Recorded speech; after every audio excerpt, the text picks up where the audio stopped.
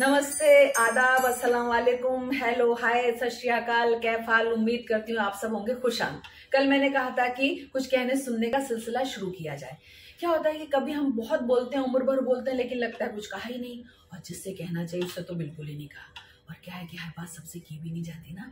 तो कीजिए ना, यही मुझे कहना है कि बोलिए और जहाँ बोलना ज़रूरी है, ज़रूर बोलिए और जिससे कहना है उससे तो कहिए। वरना क्या होगा, कहीं आतिश फिशा बंद करना फट जाए खामोशी। कहीं आतिश फिशा बंद करना फट जाए खामोशी। बहुत खामोश रहना भी बगावत की निशानी है।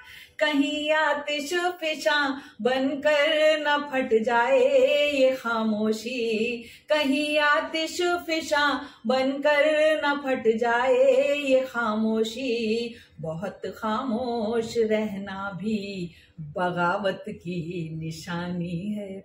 तो आज का लफ्ज है आतिश फिशा यानी कि ज्वालामुखी। और हाँ कमेंट बॉक्स में मुंतजिर रहूँगी।